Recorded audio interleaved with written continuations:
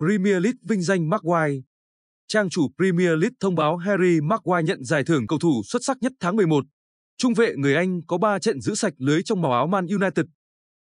Mới đây, trang chủ Premier League thông báo Harry Maguire chính thức nhận giải thưởng cầu thủ xuất sắc nhất Premier League tháng 11. Trung vệ người Anh trở thành điểm sáng trong bối cảnh Man United thi đấu trồi sụt thất thường. Mùa hè qua, tương lai Maguire trở thành dấu hỏi lớn trong màu áo Man United. Sau tất cả, tuyển thủ Tam Sư quyết định chiến đấu giành lại suất đá chính ở đội hình Eric Ten Hag. Nỗ lực của cựu sao Leicester City được đền đáp xứng đáng. Từ vị thế kẻ thừa Maguire đánh bật Rafael Varane lên băng ghế dự bị, trở thành mảnh ghép quan trọng ở hệ thống phòng ngự Man United.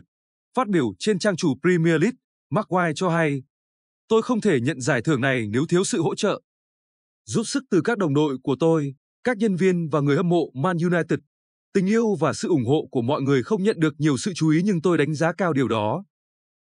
Theo thống kê, Maguire trở thành hậu vệ thứ 15 trong lịch sử nhận giải thưởng cầu thủ xuất sắc nhất tháng của Premier League.